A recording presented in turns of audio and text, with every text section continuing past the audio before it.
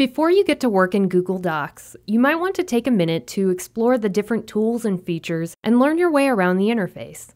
In this video, I'm going to give you a quick tour, starting with the area above your document.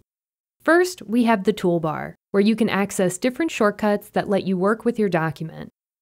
This includes undo and redo, the print command, as well as formatting options like font color and size.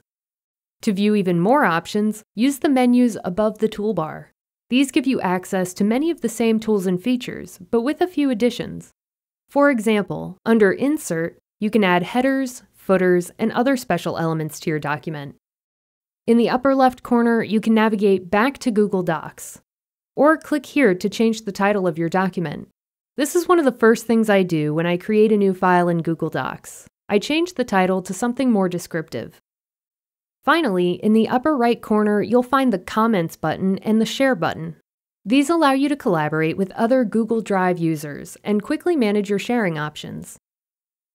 The last thing I'd like to show you is how to change your page setup options. You can do this right away before you get to work, or just keep the steps in mind in case you want to make adjustments later.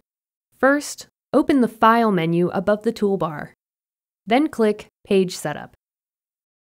A window will appear where you can customize several different things. To change the orientation of your document, choose Portrait or Landscape. Landscape will position your document so it's horizontal instead of vertical. To adjust your margins, change the numbers here.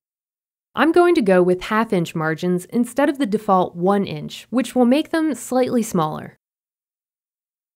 You can also change the paper size depending on the type of document you plan to create.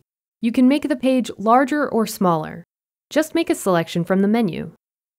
When you're done, click OK. That covers the basics of Google Docs. Now that you know how to navigate the interface and access different tools and features, you can start using it to create documents of your own.